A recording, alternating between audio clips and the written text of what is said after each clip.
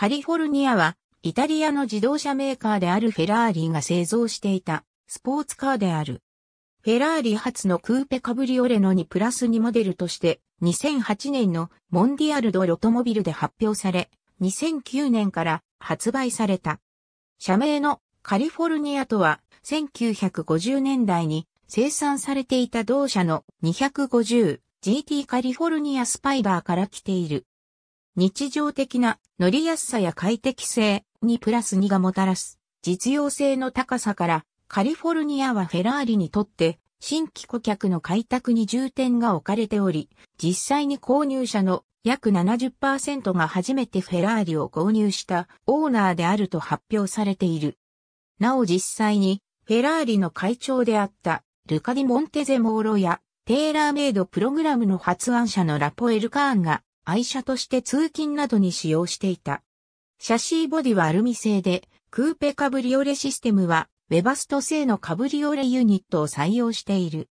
2011年にオプションとして導入されたアイドリングストップ機能をはじめとした燃費をはじめとするエネルギー効率向上を目的とした機能、ヘレイは日本国内では標準装備となる。ミッションは7速 DCT を採用しており、ギアチェンジの際に発生するロスを軽減している。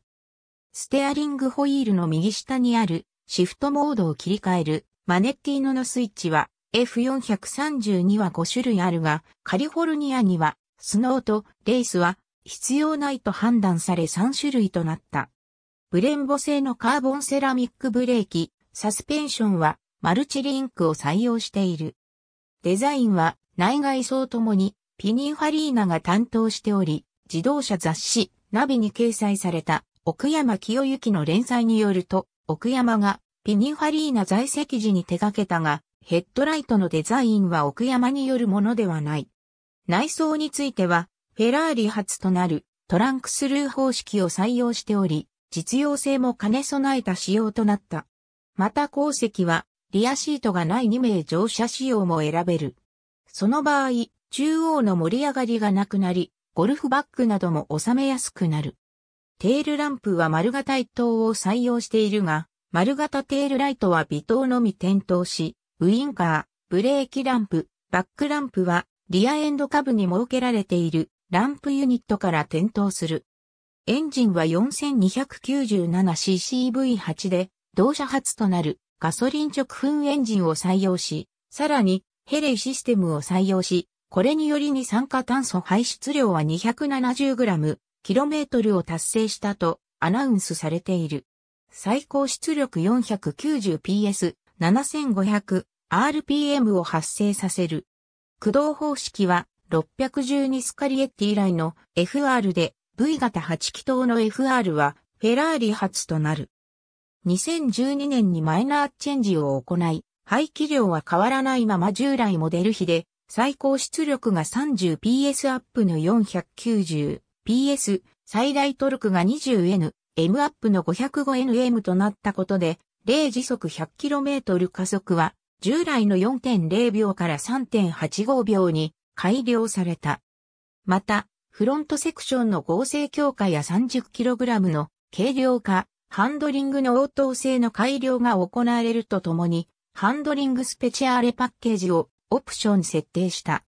なお、このマイナーチェンジ後のモデルは、最高出力 30PS アップと 30kg の軽量化が行われたことからカリフォルニア30と呼ばれることになった。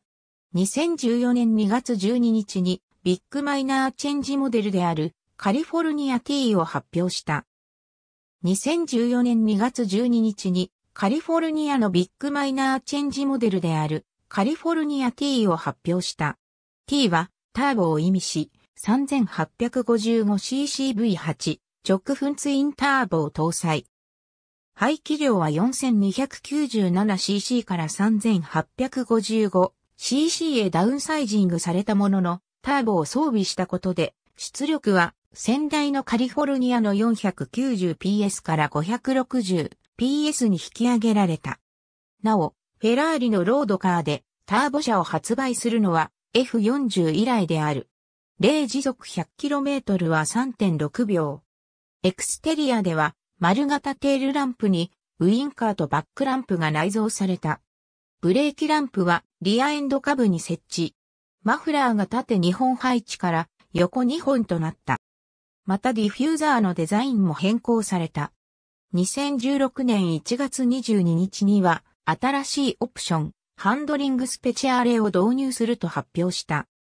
HS オプションには前後とも高度を高めたスプリングを組み込んだ新ダンパーを採用し、コーナーでのロールをはじめ、ライブやピッチなど荷重変化に対する車体コントロール性能を向上。車両を制御するマネッティーノのスポーツモードにおいても今まで以上に鋭さを際立たせたセットアップに仕上げたとしている。また、2本のプライマリーパイプを備えた神経状サイレンサーによってエンジンスピードに比例してエグゾーストサウンドも増加するよう設計された新エグゾーストシステムも含まれ、同モデルのスポーツ性を強調する。2017年の春先にはフェラーリの70周年記念限定車が限定生産されるとアナウンスされた。その後、同年初夏に新規受注が締め切られた。その後9月に後継車種のポルトフィーノが発表された。写真で見るフェラーリ、カリフォルニアカーウォッチハット、ジュネーブモーターショー14、フェラーリ、カリフォルニア T 発表、3.8V 8ターボは560、スリスポーンスハット、ジュネーブモーターショー14、フェラーリカリフォルニア T、F40 以来の V8 ターボレスポンス。ありがとうございます。